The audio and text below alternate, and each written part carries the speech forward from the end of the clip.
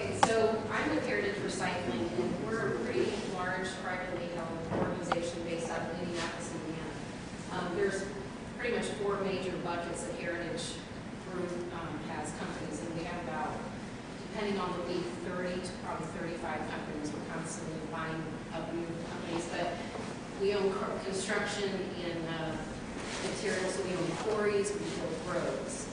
Uh, we have asphalt plants. Um, we have our environmental division, which Heritage Recycling is part of.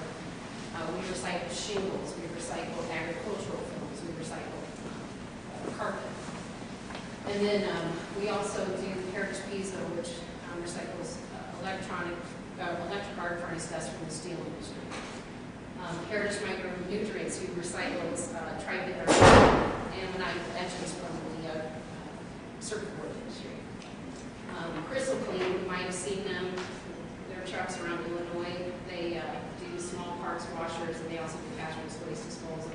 Heritage Environmental Services works with a lot of municipalities who do, um, household hazardous waste, and you may have heard of us um, in those areas. Um, we also have energy sales and marketing, and then we also chemical refineries as well as, uh, petroleum refineries. Um, we are located in North America, Europe, and Asia.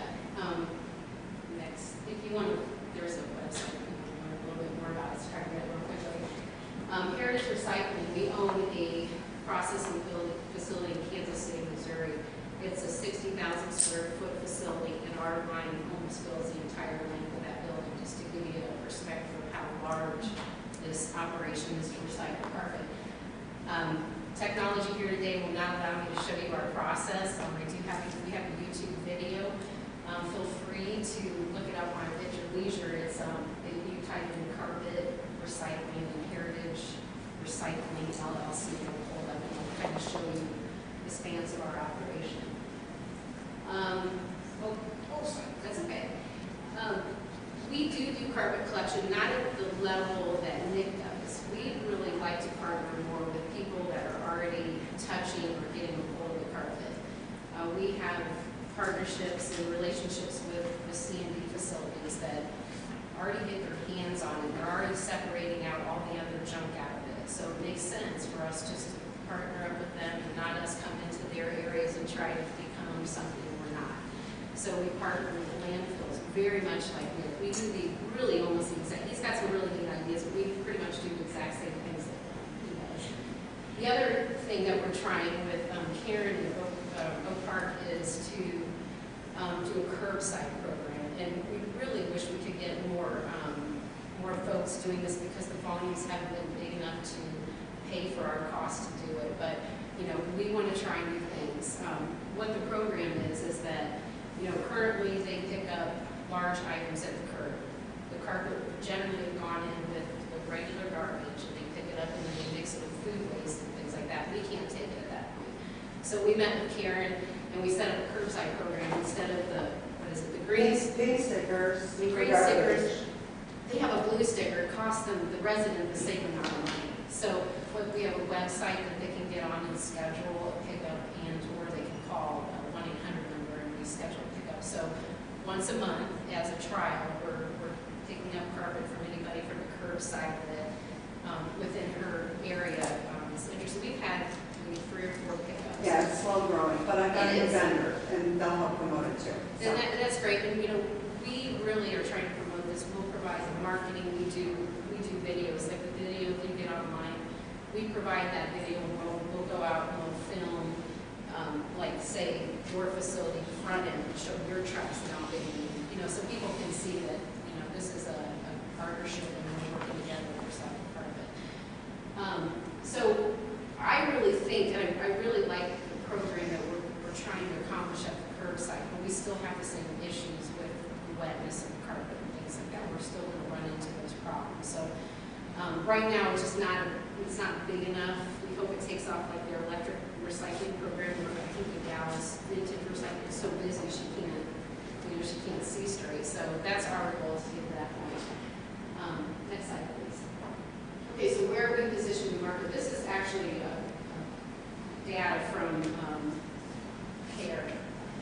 And this, you know, thirty-eight percent of who's in the carpet recycling business primarily are collectors and sorters. So they're collecting the carpet and then they're getting it, they're separating it, baling it, selling it to people like Heritage who process it. Heritage is in, within that six percent, we collect, we sort, and we process.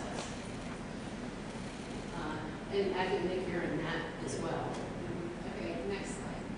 Um, Okay, so I kind of just said this, we collect, we sort, we do both residential and commercial. This is kind of important because a lot of people that are processing carpet cannot take commercial carpet because the way that it's built.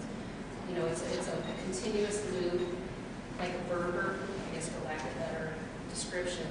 So people like Nick can't shave that off, there's not enough of the fiber, it makes it a little bit more difficult. But our process, we can actually dismantle that uh, continuous loop. And the other problem is, if you've ever seen a carpet or commercial, you pull that string and it just keeps going and going and going. That stuff wraps around a lot of hammer mills and a lot of uh, equipment. And that's another reason why people do not want to recycle, because it will destroy, it's a maintenance issue and it destroys their equipment. Our facility can take it. Um, so that makes us a little bit unique. Um, we can take all, I say all the flavors of carpet, with the exception of PET, we don't take PET. Um, we do take carpet padding, and we also take carpet tile. Um, we I had to throw that in there, because if anyone wants to talk about agricultural film as a side note, I'll be willing to talk about that. That's- What is it? Um, agricultural film, oh, I'm sorry, In- instead of silos, a lot of farmers use plastic to wrap their hay bales, they look like marshmallows out in the Is field. it like a mesh or it's a solid plastic? It's, oh, there's, there's different types. Oh, Yeah, so it's, it's, it'll be the next upcoming issue with, you know, right now they burn it and they landfill it. Or they, or they bury it on the property, so that's, that's, um, that's coming after that, I have to really. Um, that is, a- that's actually a picture of our gun, that, that's one of the more expensive guns, because it's a lightweight, so those Axon guns are very heavy from a, you know, safety those guys are using those things all day, they're heavy, things are lightweight, and we can use them so that we can have female laborers and stuff, so this is, uh, our phaser guns, those are, those are real nice guns. Um, and that, you know, I think that's polypropylene that it's done in that carpet. Uh, next, okay, so Nick threw out some information, this is a, a more of a nationwide number here, um, three million tons, which is roughly six billion pounds of carpet thrown away nationwide a year. Only about four point five percent is being recycled nationwide. If you throw in the post-industrial scrap from the mills, it bumps it up a little bit. But that's a little bit easier because they know what they have, easier to recycle. Uh, Next slide. Okay, so our plant in um, Kansas City, we can process 5.25 million pounds a month. That's, that's a huge volume um, in comparison to a shearing me- mechanism or something else, I think you agree. Um, Granted, he's going to make a much nicer quality product than I am, and I'll explain that in a minute. Um, So we will need 1% of what gets thrown away naturally to feed just one plant. We would have to build 100 plants in order to process every drop that gets thrown away in the uh, country, just to give you an idea. Um, Like Nick said, when we went into this business, we thought, oh, so much of this being thrown away, this is easy, man. We didn't even question this when we invested in this business because we thought, this is simple. This stuff's being thrown away, you know, somebody can recycle it at the same cost as disposing of it. Why wouldn't I do that? Well, we're finding out that that isn't happening. We have to go out 450 miles to feed our plant, and we can't even get the volumes we need to keep it through the ship capacity. Next slide. Okay, so I was gonna, I'm rehashing what we've been talking about, you know, curbside, once gets into the trash with everything else, food waste, you know, he brought up some issues, you know, you've got chemicals that are thrown away from uh, households, those things all get mixed in the trash containers with, uh, with the side, um, trash trucks. Um, so we can't take that, once it's got the food waste and all the chemicals and everything that comes from your house, we we won't, we won't be able to, uh, process that. Um, we still have issues with, you know, people like the C and D facilities, they don't, their facilities may not have under roof operations, so, you know, they've got big piles outside, that carpet's getting wet.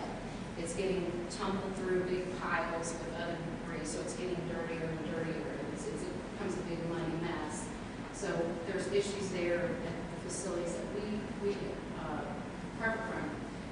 And then also the van and trailer she has some very nice pictures of the people that come in with their, with their van loads and their trailers, they get full of water. We, we have problems with that. Next slide. This is just a list, this almost mimics exactly what uh, Nick requires to, um, for us to be able to recycle carpet. These are the things that we can't have in it. And, you know, we spend money, anytime a load gets to our facility, it costs us labor time, and it devalues the whole product because we spend all this time, labor, and equipment to remove these things. And then also the disposal cost and hauling it to us when we actually put it away. Next slide. I'll, I'll go through this quickly. I just thought this was important. A lot of people don't even understand why, what, how carbon is made, so I thought it was just. Sorry, it's too early for my phone. Okay, okay, so, um, the part that you walk on is plastic. I mean, when I first got into this, I had no idea what was getting recycled out of carpet. And then there's this, and usually that is polypropylene, nylon six, six, wool, um, PET, I have a list on the next page. And then normally, almost all always that primary backing and that secondary backing is polypropylene. So it's a different polymer in a lot of cases than what's in the face fiber. And that makes it difficult to recycle because you have two different polymers together. So you have to have a lot of capital and a lot of resources to separate those two polymers. And then there's the filler, and the filler is calcium carbonate and latex that holds the whole carpet together. That gives the carpet the weight so it lays on the floor nicely. But it's a nightmare you're trying to recycle it. Uh, next slide. So here's a picture. I actually pulled apart a piece of carpet, the secondary backing, and then you can see that white crusty stuff. That's calcium carbonate and, and uh, latex SBR.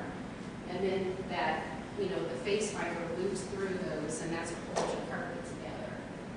Um, what a lot of people also don't know is when I get that carpet, only fifty percent of it will be recycled. And that's, that is the polymers.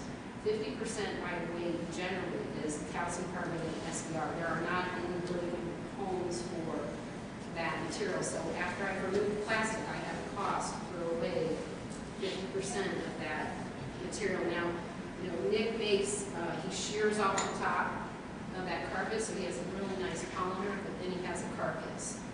And that's probably seventy seventy-five percent of the weight of the carpet. Um, he has set up with somebody that can take that, that's great. But a lot of people that are out there shearing do not have that, that gets thrown away. So really only twenty-five percent of that carpet's being recycled. I think that's very important to bring up.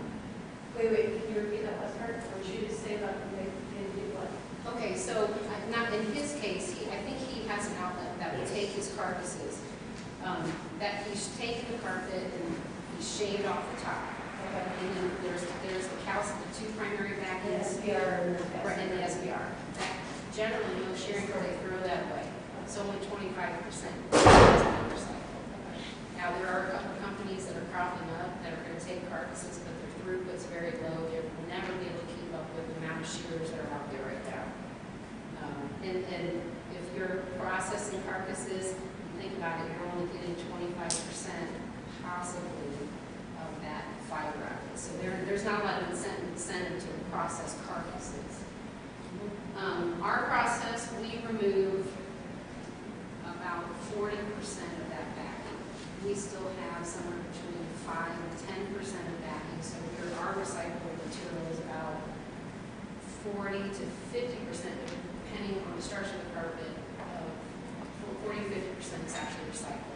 The calcium carbonate, we recycle, um, a waste, um, energy facilities and it.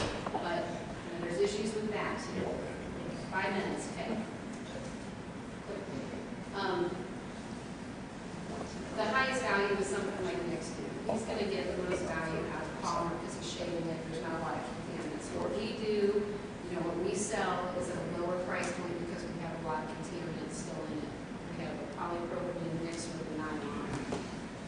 Um, and really the calcium carbonate that's being pulled out of the carpet, there are not a lot of good solutions. PET is important, but really calcium carbonate is it's incredibly important for us to be finding a solution, because fifty percent of our raw material just gets thrown away. I could pay somebody to take material and then throw it away and pay for it again. Does that make sense? So it's important for me as a processor to find a solution for calcium carbonate. That to me is just as important, if not more than PET. Um, next slide. Okay, um, I already talked about this, not all carpet, the, the, the wovens are very difficult to recycle. And the structure of those, um, people like me can't process it, only people like me, there's only two of us out there that can really take this type of material.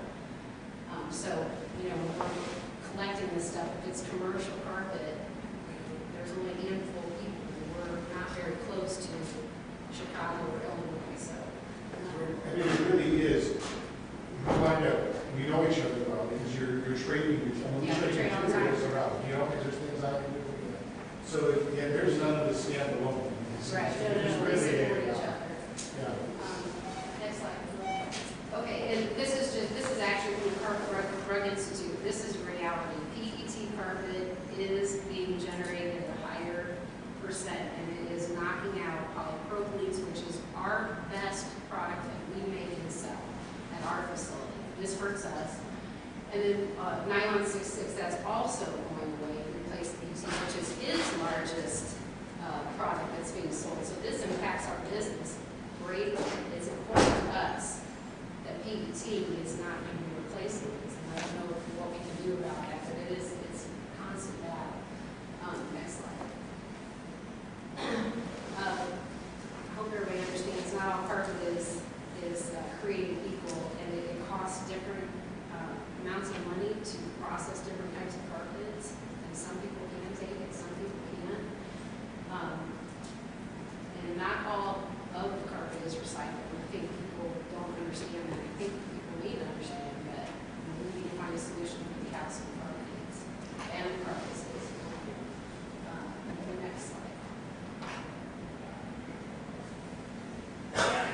Um, You know, I think the other big message is, you know, we can't expect that this is going to be a free thing for residents or installers or anybody. We're gonna have to pay to get rid of this carpet, because as you can see, it's very costly to recycle carpet.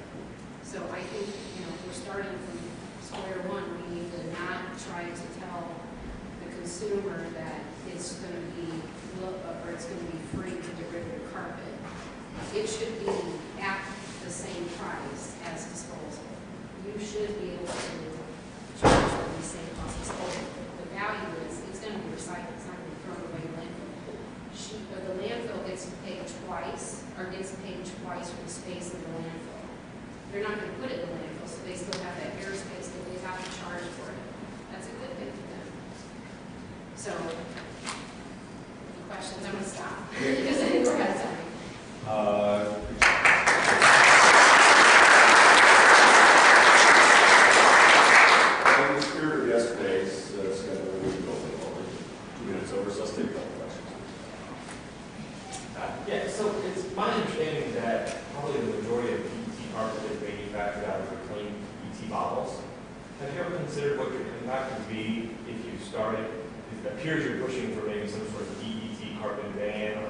taxation on it, what that effect might have on other recycling systems that are already in place? There, there are other uses for PET out of, that are more infinite, I guess, you know, that can be done. Unfortunately, once you put it in the carpet, and there's even some complexities beyond just saying, well, it's PET carpet. 70% um, of it is engineered resins, which is new PET, it's not the reclaim. 30% of it is the bottles. A lot of you guys probably sell your bottles to Mohawk. So Mohawk thinks that they know the down, they make carbon. They throw in an extra molecule, they patent it, it's actually PETM, I believe, is theirs, which is a whole other problem going on out there that it, it, it makes them noxious fumes when you try and pelletize it, things like that. Um, it's end of life, I guess is really what I'm, I'm driving at. There are other PETM that can go further in recycling phase. But once you take it, make the chain the way you do, add the calcium carbonate, you know, the asparagine, all these things, it's just nowhere near cost effective to deconstruct it and reuse it the way a nylon or polypropylene can really be infinitely recycled. We can take carpet back a hundred times, and as long as we don't burn it, you know, overheat it in the process. Nylon, it's like a metal, we can just keep reusing it. One more? Just a couple of, que- sounds like you guys are desperate for carpet. Yes. Definitely the carpet and definitely And with- you're doing a trial with Karen about the people buying a, a separate color sticker for curbside. I mean, is it cost effective for you to provide a stickers for residential pickup? I mean, I don't know what the cost is, it two dollars, three dollars, I don't know. I live in Iowa, it's a dollar sixty-five to buy a sticker for your trash. Is that, I mean, is that something that would be cost effective for you, companies like yours to do? Yeah, I mean, the, go ahead, Oh, um, it's the same price for the resident, um, but I'm sure that, uh, Heritage is making an investment up front to see if it will be. uh, That's what I'm saying, so I mean, are you, are you, is it okay for you to invest in providing the stickers so that consumers doesn't have to buy a, No, they won't, no. It's not? No. Okay. There's a huge cost associated with picking it up, you know, the tire. Sure. gas, the- Yep, I, I understand, I I mean, if you're that desperate for it, Yeah, and for the event like that we did for uh, Jennifer over in King County, we Yeah. had you know, ten of those events this year. That hundred seventy-five dollars, that's break even. I'm, I'm actually losing a few dollars with the cost of doing that. It's to get that material. and- That's what I'm saying. Yeah, it's, it's a difficult challenge. It's a huge challenge. And then I know Heritage in Io, Cedar Rapids, you're working directly with Linn County landfill. Yes, yes. So is that a better way to go after, to go to the landfill and say, hey, can we buy, can we get that carpet from you? My sure it's gonna mix with trash. Yeah, well, it, it, what they'll do, That was- it's only yeah. getting very small percent, you're right, it's, it's the installers that are coming to the Yeah. landfill, or the installers that are coming to C and D. That, that's good for us if it's not getting wet. But They're sorting it Yeah, for you, let's- right? But the, the pro, I don't know who said it, but the, the installers give the consumer an option. I'll cut it up and I'll put it, and I'll charge it, but I'll put it at curbside, or I'll take it with me. And sometimes they don't have a mechanism to take it with them. Sure. Because once you roll that carpet up, it's different than those nice little rolls that they bring in with the front, or they may be bringing in hardwood. Yeah. Uh, You know, you got, we, we also track the, uh, the flooring industry in general. It's cyclical. Carpet goes in style goes out of style. I mean, we're going through a period where the, the hardwoods, the, the tiles, so they're pulling up carpet and not putting down carpet. So some of them are, don't have a mechanism to haul that carpet away. All right, excellent job.